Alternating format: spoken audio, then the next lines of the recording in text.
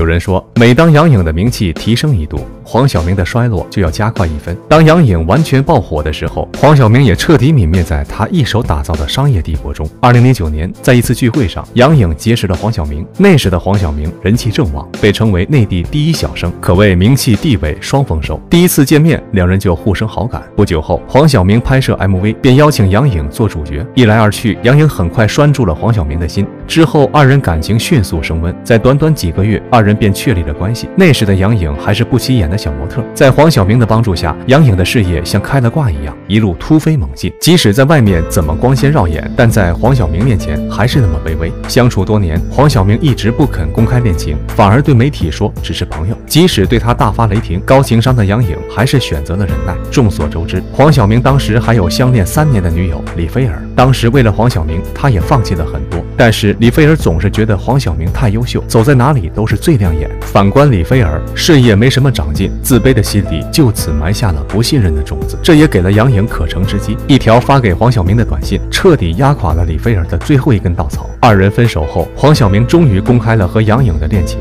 然而，就在杨颖以为好事将近时，不久后，悲剧的事情发生了。黄晓明公布恋情后，终于换来名分的杨颖，却再次遭受打击。大家都知道，杨颖为了这个名分，是下了不少功夫。谁知道黄晓明根本没把她放到眼里，即使说他什么也不是，杨颖也能一脸崇拜的眼神看着对方。甚至在赵薇的首部电影《致青春》宣传期间，黄晓明也是贴心守护，跟赵薇同喝一瓶水。这你喝过的，是他喝过的，是他喝，是你喝过的吧？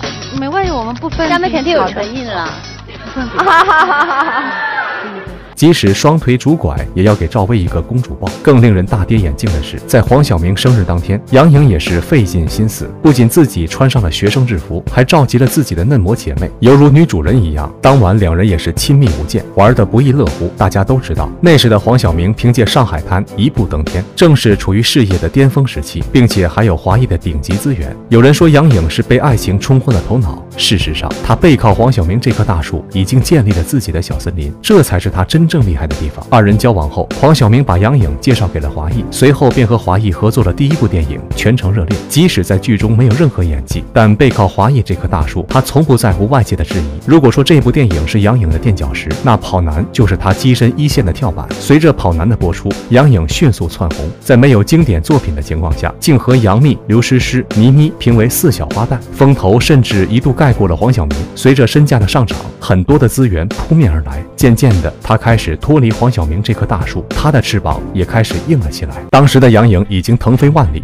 势不可挡。反观黄晓明，为了培养杨颖，动用了自己所有的人脉和资源。很快，杨颖就登上了福布斯名人榜。现如今，他的收入丝毫不亚于黄晓明。慢慢的，开始脱离了黄晓明，开始创建自己的商业帝国。借着华谊的跳板，成立了自己的工作室。而当今的黄晓明已经没有昔日的光辉，反而杨颖的资源要高于他。此后，杨颖的事业顺风顺水，今非昔比的杨颖。早已不想冠以黄晓明老婆的光环，其实他也是个好胜心很强的人。反看李菲儿，大家就会明白杨颖的厉害之处。李菲儿和黄晓明相恋三年，当时在拍《鹿鼎记》时，二人也是互生好感，即使被拍到同回爱巢，也未曾对外公开。李菲儿为了黄晓明，几乎放弃所有的工作，直到杨颖出现。两人便很快传出了分手。在一次采访中，被问及和黄晓明分手的原因时，他直言说是因为一个女生的介入，二人才分的手。这句话直接暗指杨颖第三者插足，这个锅就一直落在杨颖的身上。直到前段时间，杨颖忽然强势宣布自己不是小三，是因为自己不想再帮别人扛锅，搞得黄晓明很是尴尬，只能在微博里避重就轻的一再澄清。很多人对杨颖的发文感到诧异，殊不知这个女孩从一开始就不是我们想的那样。